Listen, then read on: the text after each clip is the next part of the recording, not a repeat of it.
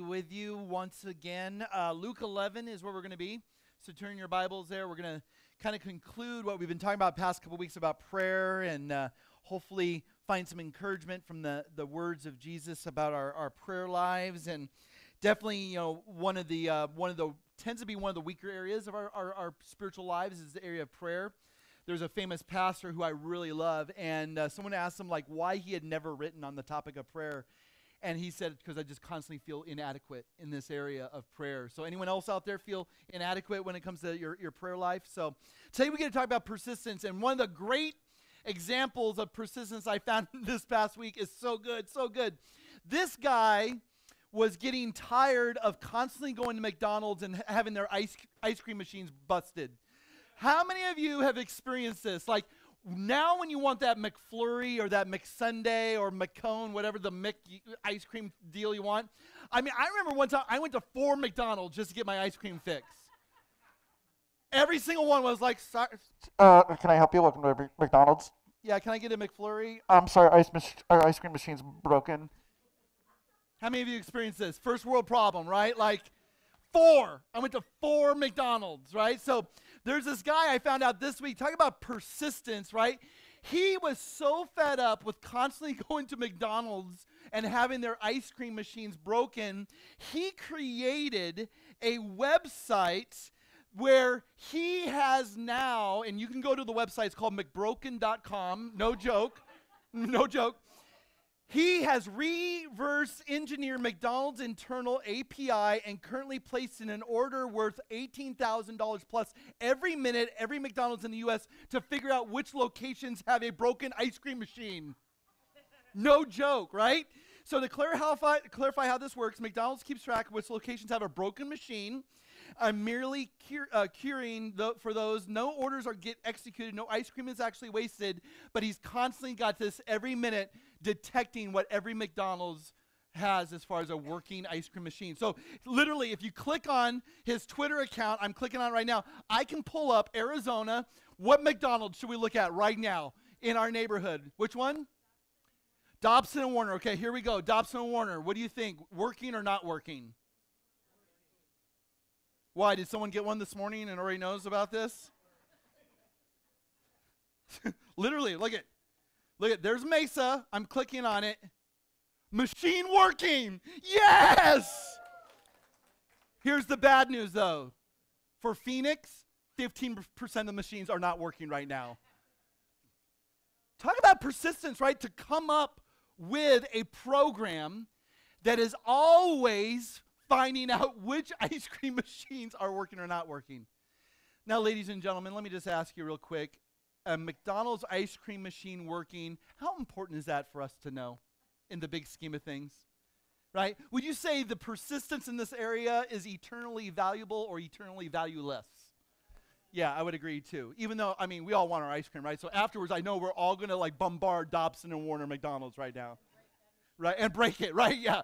So I would say that persistence in developing technology to discover which ice cream machines are working at McDonald's, yeah, well, it may be fun to talk about and laugh about. What, what do we persist in in things that we want to know or maybe things we desire to have? I'm going to tell you right now that this man's persistence when it comes to McDonald's ice cream machines probably outweighs some of the persistence or lack thereof of things that are more serious in our lives and things that we're pursuing and things that we want and things that we go to God with. Would you say that perhaps persistence is lacking in our lives when it comes to our spiritual pursuits and spiritual disciplines? I think so. Jesus wants to encourage us in this area because I'm going to tell you, and I'm going to argue this morning, that perhaps the topic of persistence is the missing ingredient from our prayer lives.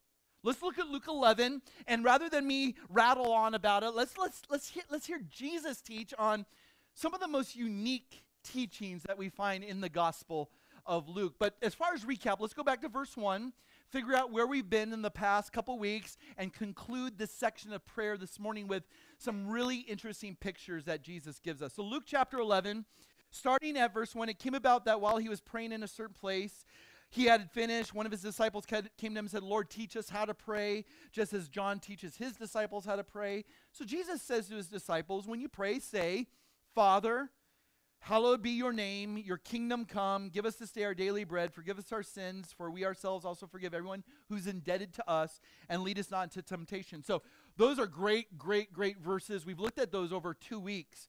But now we enter verse 5. Check this out. He says to them, Suppose one of you shall have a friend and shall go to him at midnight and say to him, Friend, lend me three loaves of bread, for a friend of mine has come to me from a journey, and I have nothing to set before him. And from the inside of the house, that friend shall answer and say, Don't bother me. The door's already shut, and my children and I are in bed. I cannot get up and give you anything. We're going to call this guy the grumpy friend. Anyone got any grumpy friends in their lives? Okay, right. Verse 8 I tell you that even though he will not get up and give him anything because he is his friend, he will get up and give him what he's asking for because of his persistence. And I say to you, ask and it shall be given to you, seek and you shall find, knock and it shall be opened to you. For everyone who asks will receive, and everyone who seeks will find, and everyone who knocks, the door will be open. Guaranteed promises right there in verse 9 and 10. Now, suppose one of you fathers is asked by a son for a fish. Will you give him a snake? No. He's asked for an egg, will you give your son a scorpion? No. If you then, being evil, know how to give good gifts to your children, how much more will your heavenly Father give the Holy Spirit to those who ask him? May God write his eternal truths upon our hearts this morning. So get ready for this. Three major points this morning. Two we're going to get done in about two minutes. The fastest two points of a message you will ever hear from Scott Morgan. So mark this day. Mark this day. First point is this, and this is just for recap review. Number one, there we have to remember our position in praying. Our position in praying, verse 2, Jesus says, When you pray, say, Father. Nothing is more important than this point. Meaning, your relationship with God is, is tantamount in this topic of, of praying your position as a child before a heavenly daddy, heavenly father who cares for you more than you could ever imagine. This is the most delightful, most wonderful aspect of our praying is that we have a position to go to a dad who loves us more than we could ever imagine or understand. Is that awesome? So, secondly, like I said, look how fast we're moving on. Point number 2, our pattern for praying. And our pattern for praying is this it's the Lord's Prayer, right? We pray, you know, Father, your, your name be glorified, your kingdom come, your will be done on earth as is in heaven. And then he says, Give us this day our daily bread, you know, let us be forgiving people, and then lead us not into temptation. Notice the priority two things. We put God's interest first. Your pattern for praying is this is not necessarily about you, it's about God's glory, God's name, God's kingdom, God's will. And once we understand that, then we can come in with our interests. We tend to get the two flip flop, don't we? We go before God. We think this is about just airing out our laundry list before God. Here's what I need. Here's what I want. Here's what I desire. Here's what I yearn for. Blah, blah, blah. But God says, stop. It is not about you. It is about me. That's why Jesus says in Matthew 6, verse 33 Seek first the kingdom of God, and then the rest shall be added to you. First, God's interest. Second, your interest. Point number three, hallelujah. We're on point three already, but don't get too excited and don't get thinking about that McFlurry right now. It's broke. You just checked. Oh, darn it. So someone snuck out the back door and went and sabotaged the machine. All right. Point number three, our persistence in praying. And like I said at the beginning, this is what I'm going to argue for this morning. I'm praying that the Holy Spirit impresses this upon our hearts is that our persistence in praying is often the area that is where we, where we struggle when it comes to prayer. I mean, ever wonder why our prayers sometimes are not answered? Has anyone ever prayed something and you never got an answer or you didn't get the answer you wanted? Just raise your hand. I think we're all in, in safe company with each other. Here, I'm going to get mathematical on you. Not that I love math. I hate math. I rip the book of Numbers right out of my Bible. That's how much I hate it. I want you to write down this equation for me. Your position plus your pattern plus your persistence equals effective praying. Position plus pattern plus persistence equals effective praying. If any one of those three things is missing, you will not have an effective prayer life. And I'm going to argue that that persistent piece is the one area we tend to fall short in. The reason we don't experience effectiveness in our prayer lives is because we, while we, we celebrate our position and we celebrate a pattern, we miss out on the persistence the continuity, the the the brazen just I'm going to persevere in this and keep going and keep going and keep going. How many of us pray one time for something and it's done? God's saying, "Don't. Don't stop.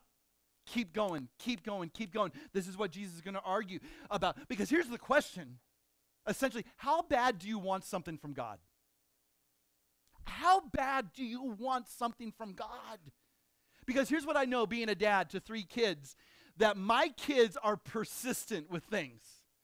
You know, it's like, Dad, can I have this? Dad, can I buy this? Dad, can I? And the older they get, the more expensive it is. So, so I, am just going to plead hard of hearing eventually, you know. But here's the thing I know how important or how necessary something is in my kid's life by the frequency of how, they, how much they ask for something. There have been times my kids have asked for one thing one time and that was it. And you know what I thought as a parent? that's not important to them. And then there are things that they hound me with continually.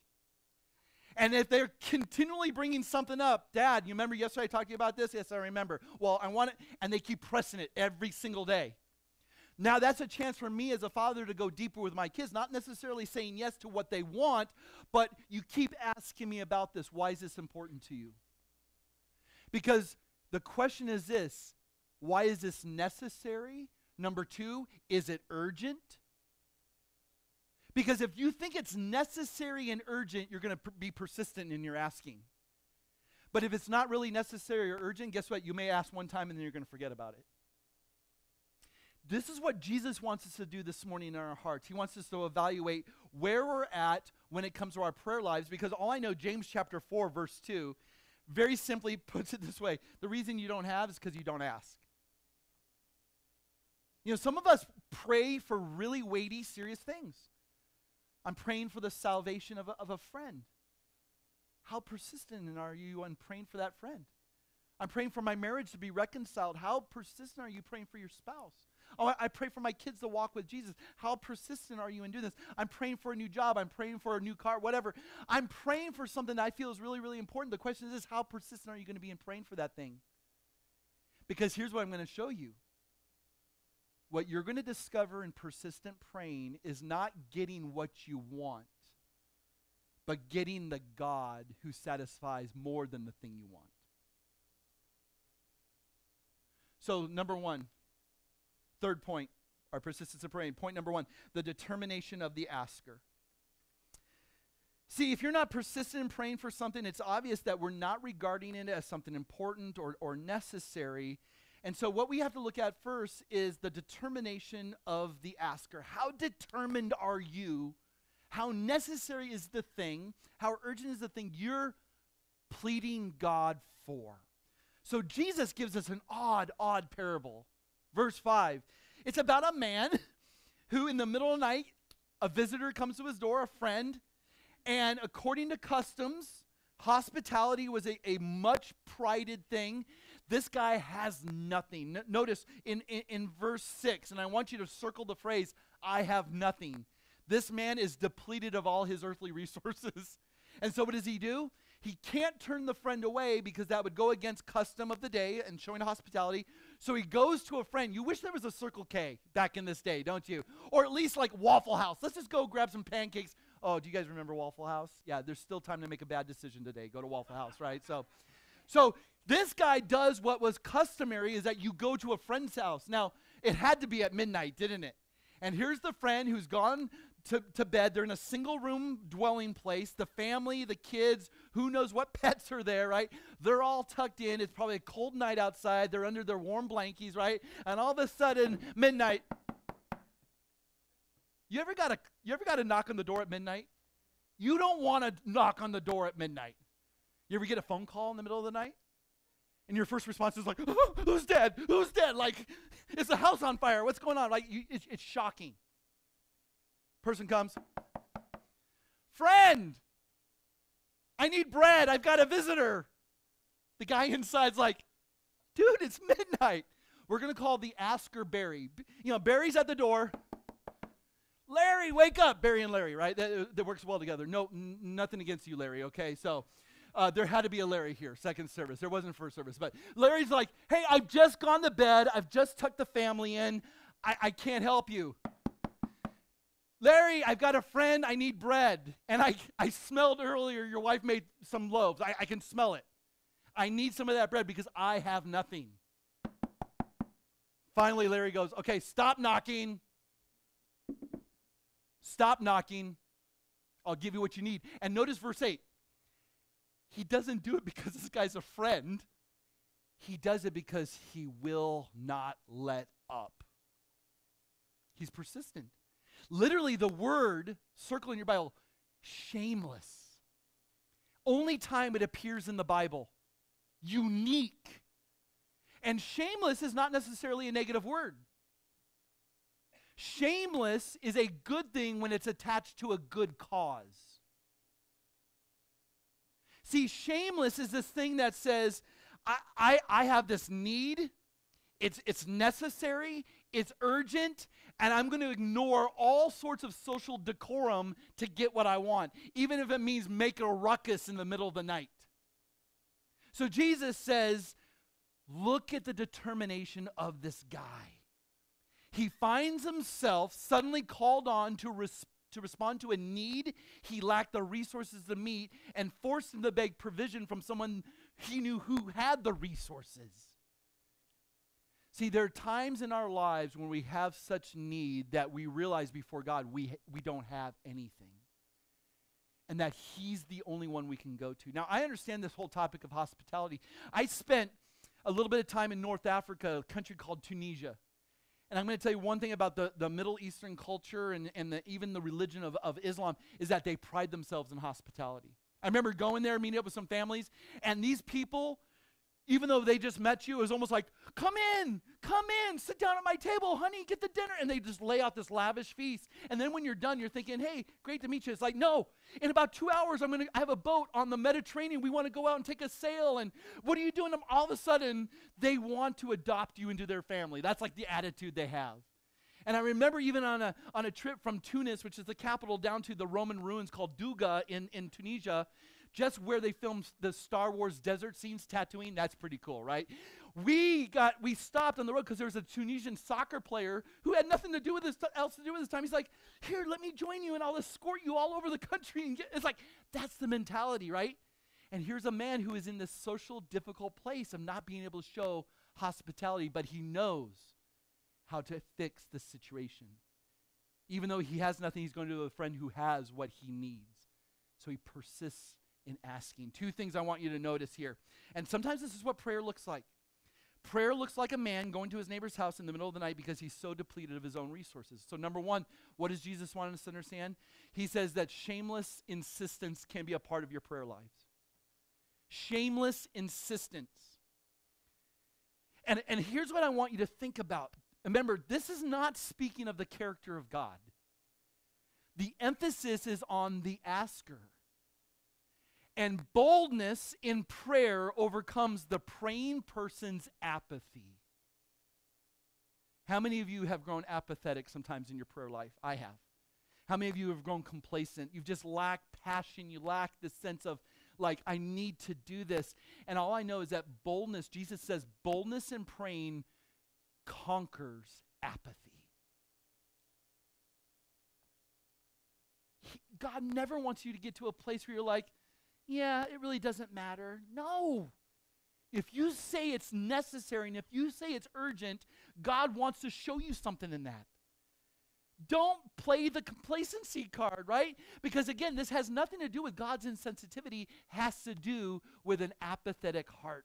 Which brings us to the second point, and that's this boldness in prayer also brings about sincere confidence. Look at verse 9 and 10 familiar verses ask, seek, knock. But I think maybe we've lost maybe something or not understood something in these passages. Here's what sincere confidence does is it these, these words, ask, seek, knock, you see them there in verse 9 and 10? They're ongoing, continuous action words. Meaning, if you read it literally, keep on asking, keep on seeking, keep on knocking, and God says, don't stop. The problem is we pray for one thing and we don't get what we want and we stop praying. We may even pray for a few days. Yay! And you still don't get what you want, we give up. Here's the thing you have to understand is that God is always going to move in your direction. And He's always going to show you something, reveal something about your heart or what you think you need. And the sincere confidence comes in this prayer brings you to the heart of God.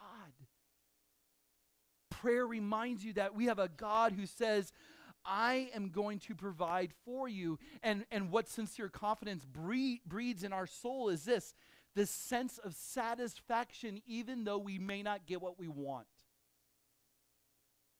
The person who has their soul satisfied in God is the most content person in the entire world. Because it's not what you have, it's who you have. See, the sincere, bless you. Sincere confidence grows and is enlarged in the heart of a person that says, I will keep on asking, I will keep on seeking, I will keep on knocking. Now, notice those three words.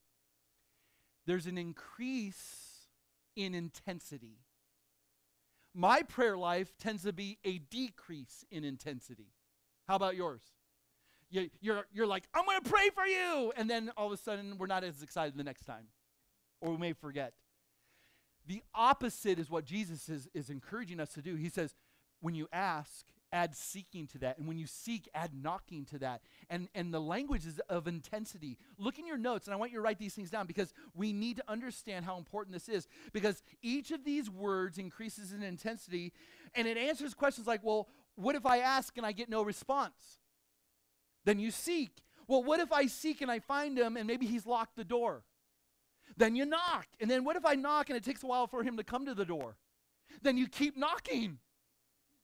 Right? This is like, this is what Jesus talks about in Math and in Luke chapter 11 later on. He says, we ought to always pray and not lose heart. You, you just keep on doing it. I love, so my phone, so I have this screening service on my phone. Like, I get a call from a number I don't recognize, I put screen call. And it says, You've reached this customer's screening assistant. Would you please tell them the reason why you're calling, right? And usually it's a hang up, right? Or it's like, hey, it's Larry.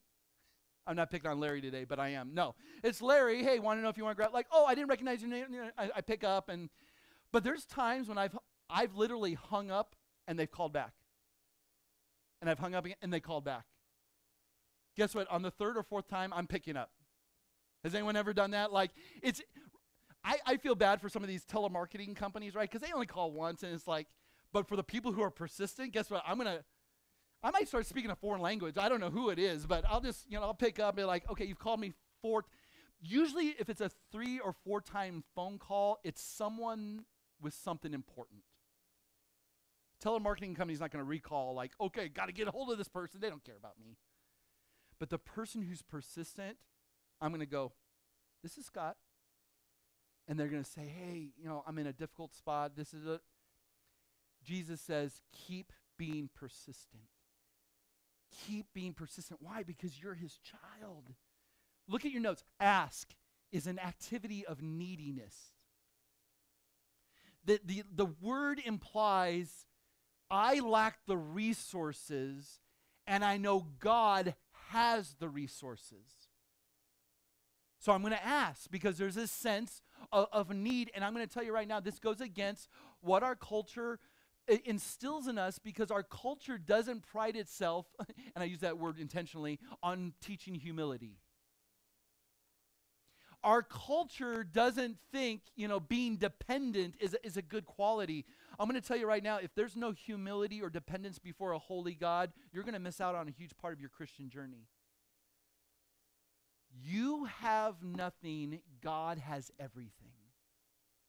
And so when we ask, we're, we're basically, it's an activity of neediness, which then leads to intensifying our prayer and then seeking. Seeking is an activity of pursuit, meaning I'm no longer going to be an armchair prayer, but I'm going to get out of my chair and now add activity to my praying and my asking. And so seeking something implies that I am going to find something that's been lost or whose location is not known, and it adds action and effort to my asking. And, I, and, and it's like if you, if you have a pet and your pet is not allowed to be outside but gets outside, guess what you're going to do beyond asking? You're going to be seeking. Cujo! Cujo! Where? Oh, you guys don't have dogs named Cujo? You need to name your dog Cujo. Scare everyone in the neighborhood. Cujo, where are you? Like you set, you're no longer just saying, Lord, please bring Cujo back. You're adding activity to finding Cujo. Now, here's the cool thing about seeking, and I want you to understand this seeking is such a special word in the Bible because whether you're talking Old Testament or New Testament, Jeremiah says, You will seek me and find me when you seek me with all your heart, God says. Meaning, there's this activity we're able to do that when we feel disoriented, when we feel lost, that if our heart is set upon God, we're going to find our rest in Him. In John, it actually says that the Father seeks those who are going to worship Him in spirit and truth. And it's the only place in the Bible where it says the Father seeks something. And so now what we have is you have a seeking of us and a seeking of God that is actually met now in relationship. Because all true seeking that ultimately satisfies is found in relationship to God. So you're out there asking and seeking after your dog, cat. I mean, we're not going to talk about cats, we'll talk about dogs. You don't find your dog, guess what you start doing now? You start going to your neighbors. Cujo, Cujo got out. You're going house to house if the, if, the, if the animal is so important to you, it's no longer asking and seeking. Now you're, invo- you're, you're knocking on every door. Help me find my lost pet. And so, knocking is an activity of intensity. It's interrupting people at dinner time. It's interrupting people in the middle of the night if it's so important. I remember having a friend come to my window about 2 in the morning, high school, right? And I, I, I rolled with some really interesting dudes, right? But I had this guy just pounding on my window one night. I think we were juniors. He kept, and I'm just kind of like trying to ignore it, trying to pretend like nothing's happening, and he was just insistent. And he knew that I believed in Jesus. And at that window, I finally got up, opened the window, and his name's Troy, and he said, My dad just died. And I knew at that moment that I could not let him be ignored. It wasn't like, hey, let's just talk in the morning. It, was something that was so intense in his life at that moment. He got rid of all social decorum to wake me up and just say, I need someone to talk to. You see, ladies and gentlemen, asking is the simplest aspect of praying. Seeking turns it into now this pursuit, but down to knocking it signifies utter earnestness and total desperation. And, and I'm going to tell you something right now. Bruised and bleeding knuckles is a sure sign of you getting confidence in your prayer life. Try tweeting that one out right now. Bruised and bleeding knuckles display a confidence that you believe God will answer. I love what one pastor said prayer is not overcoming God's reluctance, it is laying hold of God's willingness. Remember, this is not about God and his character. This story Jesus uses is about the, the, the persistence of the one asking. And let me just tell you right now when we persist in prayer, what you're going to discover is that prayer is not about changing God's mind as it is drawing close to God's heart. How many of you have prayed thinking you're going to change God's mind? It's never encouraged in Scripture. You want to know why? Because God's a lot smarter than you. He's a lot wiser than you. See, prayer is less about any answer you're seeking to get and more about discovering the affection of a God who has promised he'll never leave you or forsake you. I didn't use this first service. I think they were C.S. Lewis heavy from prior weeks, but I'm going to give it to you guys. Somehow I feel like this is what God wants you to know. And Lewis describes prayer as if God is this giant rock in the middle of the ocean, and you're in this little rowboat, and all of a sudden the storm starts kicking up, and you throw an anchor to this big rock in the ocean, and you start pulling that rope. Are you moving the rock closer to you or are you moving yourself closer to the rock? That's prayer. Prayer is not you bringing this immovable, steadfast, huge object to you. You are moving yourself to God, and that's what prayer does. It brings you into closer and closer alignment with God's wisdom and His will. Prayer doesn't change God, prayer changes you. Wow. Because at the heart of it, it's about relationship. What if God gave you every single gift He could give you, but yet doesn't give you Himself? You're still going to be discontented and unsatisfied. See, what you discover into persistent prayer is this there is no substitute for God. Psalm 73 Whom have I in heaven but you? And there's nothing on earth that I desire besides you. See, this is what prayer does. It allows us to stop clinging to the things of this world, thinking that jobs and cars and relationships and sex and success are going to bring us happiness, and that there's only one who truly satisfies those of us who are created in his image, and that's relationship with the Almighty, that we get to call Daddy.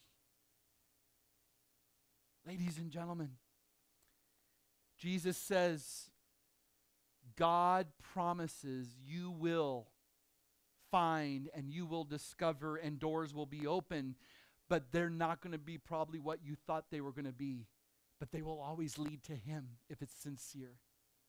Spurgeon said this. You know it's a good morning when you get Lewis and Spurgeon. Spurgeon said this The Lord intends to educate us by non success as well as by success, and therefore causes us to sigh and cry until His Spirit puts forth His power. Which now brings us to the second point the delight of the giver. See, now Jesus shifts the focus, right? The first part of what we talked about is on the determination of the asker, that's us. Now we get to look at the delight of the giver, which is God. So we are not to equate the reluctant friend, the grumpy friend, as God. That's it's merely not reflection, it's contrast. Because here's what we know God is not a grumpy friend. Woohoo! We do know he is a gracious father. So Jesus says, look at God, verse 11. Now suppose one of you, dads, your son asks for a fish, you're going to give him what? A snake? one of your kids asks you for an egg, you're going to give them a scorpion. Now, I'm going to tell you right now, snakes and scorpions were harmful creatures in Jesus' day. And may I say, for those of us that live in Arizona, we can identify with a lot of scripture, can't we? But what father, mother in their right mind, when their son, daughter asks for something, you're going to give something harmful to him. You're not going to do it. See, God always knows what is helpful for us and he will always withhold what he believes is harmful for us. And how much more? Now, notice the language Jesus uses. He's going from a lesser to a greater teaching. If, if, if you give good gifts to your kids and yet you're evil, by nature evil, there's even evil people that do good things. And how much more will God, who is perfect and holy, care for you who he's designated his son or daughter. See, you need to understand the delight and the desire of the giver. There is no reluctance in God in the sense when it comes to us praying. There's patience required of us. Can you write down that word patience? Because unfortunately, some of us have grown up in homes where we asked for something and mom and dad immediately gave us whatever we wanted. Now we call them Democrats. Just kidding. I'm just kidding. That, I just had to get that one in there, right? Yeah, so. Um, is it not true that we have a lot to learn when it comes to patience, that sometimes our prayers are not answered like Amazon Prime delivery? Sometimes God says wait, even though He doesn't say wait, but He makes us wait. How many of us automatically conclude when it's not answered in our time frame, God said no? When in reality, God doesn't owe you an answer in any sort of time frame that you have. He always will answer according to his time frame. See, here's what you need to understand is that we need to keep a simple fact in front of us. God is our father and we are his children, full stop period. And that our father will always keep the right to do what is best for his kids even if we don't understand why it is best. The number one question my kids have asked me since day one why? And the number one response I've always given them you don't need to know why. I sound like a loving father, don't I? So, what does a smart child do? They go to mom. I have a lot easier time saying no, or even saying wait, or saying maybe, or saying this. I don't have to explain myself. But yet, God is a good God and will give us what is helpful and withhold what is harmful. Our thing is not to give up. Can I, can I just ask you guys a, a just a, a, a very important self reflective question right now? Have you stopped asking God? Have you stopped talking to God? Have you stopped praying to God simply because He didn't answer you? Have you stopped because He didn't give you what you wanted? I don't, I don't know where you're at, but all I know is that silence is not the answer on our part. There's a persistence in keeping asking that God and Jesus obviously encourages us to do. I, I remember reading a story of a, of a couple who went to Ukraine to an orphanage because they were going to adopt a, a, a little boy. And they went to this orphanage in Ukraine, and as you might expect, it, it wasn't in the best of conditions. They walked into this room, a gigantic room filled with babies, and it wasn't the, the conditions that startled them. It wasn't the darkness, this low level lighting that they had, had set up. It didn't startle. The smell, as awful as the smell was, it didn't startle them. They walked into a room that was filled with babies, and what startled them the most was that not one of those babies was crying. And the reason not one of those babies was crying because all those children had learned that their crying would not get an answer. There's a room filled with children who would cry and cry and cry, and they finally got to a point their crying doesn't help. And they walked out of there with a little boy, and they brought him home, and for weeks that child would not cry. And they said the greatest day was when that child cried because that child knew that they were in a different relationship, in a different context, where now if they cried, they wouldn't experience silence, but now when they cried, they would experience the love of a father or mother. Silence hurts us. Silence cuts us off before a God who wants to hear us in our sighs, in our whimpers, in our pleas, in our begging, in our crying, in our loud screaming, in our shouting. Have you ever done anything before God? Here's what I do know the only answer is that you don't stop doing those things. But you understand that there's a God nearer than you can ever imagine, and a God who promises he'll never leave you or forsake you. Don't take his silence as his absence. And don't take his lack of provision for what you think you need as the absence of him giving you what you actually need, and that's something different than you'd ever expect. Here's what God wants you to know this morning that He is going to take care of you. And I'm going to tell you right now, probably one of the number one reasons He's going to take care of you because His reputation's on the line. Because you and I will go forth into the world and say, Our God is good. And we're going to talk about the ways that God brings satisfaction and contentment. But here's what's not going to work as far as when it comes to reputation and even the, the, the, the, promoting of the gospel is if you go forth complaining about all the things you didn't get from God. Can I just tell you, complaining and grumbling has no place in the Christian life. And I said a word first service, I'm not going to say second service because there's some kids present. But don't you think that complaining and griping is a spiritual gift? Can, I, can you go ahead and write that down in your notes? You go out there and you talk about how you're loved by God so much, and then all your life consists of is what you don't have, and how you're so, so mad at God because, you know, oh, he doesn't do this, and I'm going to complain about this and gripe about this. Can I just tell you right now, you're not really showcasing the gospel in a positive way. Not that we sell the gospel, but when people of God live with this sense of satisfaction and contentment, when everything is falling apart around them, people want to know. And would you say, like right now, we're all pretty desperate people, aren't we? I mean, think about what's going on in our world. Wait, what, what is going on with our world right now? Oh, yeah, coronavirus. Oh, yeah, right now, presidential election. Oh, yeah, right now, really bad economy. Fill in the blank, right? Like, we are getting walloped from all sides. Would you agree with that? But the harder our circumstances become, ought to be the moments the harder we press into our love and commitment to Jesus Christ. If you feel your life is moving the opposite way, you need to think about the gospel once again. I'm not saying we go and walk around like happy, happy, joy, joy, like everything's like, you know, not like fake hallelujahs, but we have a deeper confidence. Not that our guy's going to get elected, not that coronavirus is ever going to leave, not that our economy is ever going to change. We're praying for those things, but even if they don't, my soul will still be satisfied in Christ. And when people see you live with that sincere confidence, they're going, Tell me about the hope that's in you. And then you get to lay on 1 Peter chapter 3 verse 15 as you sanctify Christ as Lord in your hearts you'll be able to give an a, a, a, account of the hope that's in you with gentleness and respect. Because no matter what you have a God who's good to you. Can I get an amen from somebody? You may not like what you you didn't get, but let me just tell you your God knows that you didn't need what you wanted.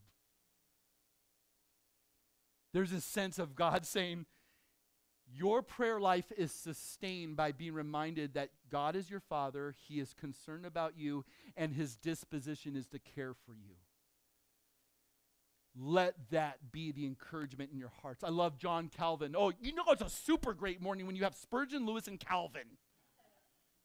Listen to this. I love this. This, this, this caused me to stop and just pause this week.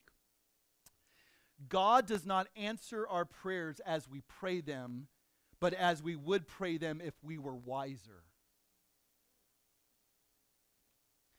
Meaning, how many prayers have I prayed because of my immaturity?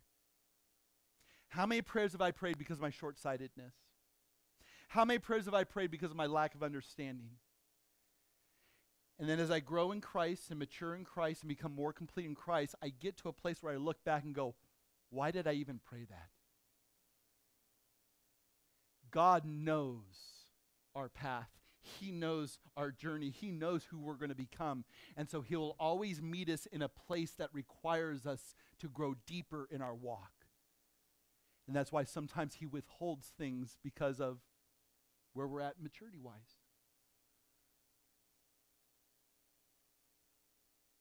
So not only do we have a Father who gives gifts, how much more will your Heavenly Father take care of you? If, if, if any mom or dad generally takes care of their kids, how much more? But whether God gives you gifts, here's what I want to close with. And this is the greatest point this morning. We have a Father who gives Himself. Look at verse 13. And, and I love how Luke adds something that Matthew doesn't. This same teaching is found in the Gospel of Matthew, but Matthew leaves off the last section of verse 13. Look at verse 13. If then you, being evil, know how to give good gifts to your children, how much more, don't miss this, shall your heavenly Father give the Holy Spirit to those who ask him? Well, first off, I didn't ask for the Holy Spirit. But yet Jesus says that's the very thing you ought to be asking for. Let me put it this way the highest good you should be pursuing is the Holy Spirit. Luke is keen on teaching about the Holy Spirit. This is why Luke and Acts talks about the work of the Holy Spirit. Because the Holy Spirit is God Himself present within you as a believer. Now, we need to tease this out because this is where we a lot of us fall short. There's two works of the Holy Spirit in a believer's life, and it's, it's important to understand the distinction between these two things. Number one, every believer is baptized in the Holy Spirit. So write down the word baptized. It's, these are bonus notes. I'm not going to charge you extra. Don't worry. Baptized. 1 Corinthians chapter 10 Do you not know all who belong to Christ have been fully baptized with the Holy Spirit? There are some groups out there that will tell you that you're only partially baptized by the Holy Spirit and that you need to pray for the rest of the Holy Spirit. And how you know you got the rest of the Holy Spirit is when you speak in tongues and when you perform miracles and healings. I'm going to tell you right now that there's a Greek word for that. It's called hogwash. That's not true. That, that's not true. If anyone is in Christ, they have received the entire Holy Spirit Himself. You, you lack nothing. But, number two, write down this word filling. Where we tend to miss understanding the work of the Holy Spirit is being filled by the Holy Spirit. Just because you're baptized doesn't mean you're filled. Filled is a constant daily work that we have to do to engage God to say to Him, I want to walk in obedience, I want to walk in reliance, I want to walk in independence of you. Because without you, I can't do anything. So God has given us Himself so that day to day we have all the resources we need to glorify Him and to live the lives that He wants us to live. Are you kidding me? More than any other gift God has given us, He's given us Himself. And it's the filling of the Holy Spirit. Not that we pray, like, Spirit, come to me again, but we give ourselves over to His occupancy and His mastery over our lives. We treat God as if He's some roommate that we just put up with week to week and hope we get the rent on time, and hopefully they're not eating our food out of the fridge and they're not making too much of a ruckus, right? He lives with us, but no way is He going to tell me what to do. I'm going to tell you right now, when God moves in, He takes over occupancy and mastery over the house. He changes the decor. He picks the color of the carpet. He changes the furniture. And He tells you when to be home and when not to be home. We act as if it's the uh, annoying roommate when in reality, He's now the owner of the house. And just like Abraham Lincoln, actually, Jesus said himself, is this. And I said Abraham Lincoln on purpose. That's an, a cultural reference. Some of you may not understand. I'm getting old. I know I'm 50 years old. But here's what the, the, a house divided itself cannot stand. When God moves in, the old master's gone. When the Lord shows up, there is no other Lord that shares the, the, the power over that house. He is Lord. He has taken over my life. The old is gone, the new is gone. Scott Morgan has been crucified, and now the life I now live, I live by, by faith trusting the new ownership is going to have mastery over my life every single day. See, being filled with the Spirit means my life is no longer mine. I don't live my life as if I'm the dictator of it. I live my life as if I have a creator who knows what's best for my life.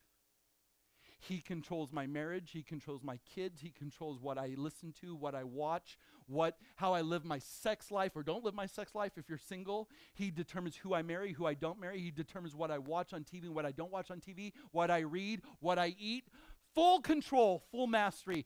And if Christ is not Lord over area, every area of your life, he's not control, he's not Lord of any area of your life. Did you guys just hear what I said? If he is not Lord over every area of your life, your finances, your health, your career, your relationships, you can talk about Jesus being Lord, but he's not really Lord. Ladies and gentlemen, there's one thing necessary in life, and that is the Holy Spirit residing within you. Listen to this statement. All fulfillment of need is an activity of the Holy Spirit within you. Anything you feel you need, the Holy Spirit is the answer. He promises to bless you, He promises to keep you. He promises to bring you peace. He promises to give you grace. He promises to give you communion between you and the Father and he is going to give you something ultimately better than anything you can ever ask for, and that is relationship with the Father. Persist until you receive the Holy Spirit in power. How does God do this? Two things I want you to think about.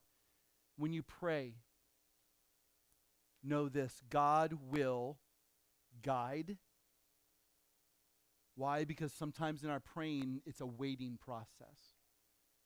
And when you're waiting and when God's teaching you patience, you don't just throw your life into just some sort of neutral mode. You continue to pray and you stay lockstep in, in step with the Spirit. You're in His Word and you're just continuing allowing God to guide your path. Because waiting's hard. Secondly, God will comfort. Because I know some of us, and I'll speak from personal experience, God has said no to some of the things I've prayed for. And I, am going to tell you right now, those can be painful things. And in those moments of pain, God meets us and promises us he'll comfort us. Right? So here's what you need to meditate on this morning God has given us himself. He's given us his son to die upon the cross for us. He's given us the Holy Spirit to now dwell within us and, and give us the power and strength and wisdom for daily living. What has God not given you? Exactly. Ephesians chapter 3. Look how Paul sums this up. Now, let me just tell you the church at Ephesus is a, is a church dealing with struggles. And here's what I love about the letters of the New Testament is that they're written to churches not unlike ours that are going through difficult times. Politics, economy, sin, lust, all this stuff, right? But look at Paul prays right in the middle of the letter. For this reason I bow my knees before the Father, from whom every family in heaven and on earth is named, that according to the riches of his glory, he may grant you to be strengthened with power through his Spirit in your inner being. Notice what Paul doesn't pray for. I don't pray for your emperor to, to take over in the, in the seat of power. It's not there. I don't pray for your economy to improve. It's not there. I don't pray for all diseases to be eradicated. It's not there. What does Paul pray for? That you would be strengthened with power through his spirit in your inner being, so that Christ may dwell in your hearts through faith. Nothing is more important than this. That you being rooted and grounded in love, rooted and grounded means you're permanently loved and, and in Christ. Amen? you may have strength to comprehend with all the saints what is the breadth and length and height and depth, and you may know the love of Christ that surpasses knowledge, that you may be filled with all the fullness of God. Tell me what you don't have that you really, really, really, really, really want. And you really, really, really, really want. If you have God, you have everything. And the person who has everything and doesn't have God, is a pauper compared to you who has God and may not have everything. Church, don't give up in praying. Don't give up in asking. Don't give up in seeking. Don't give up in knocking.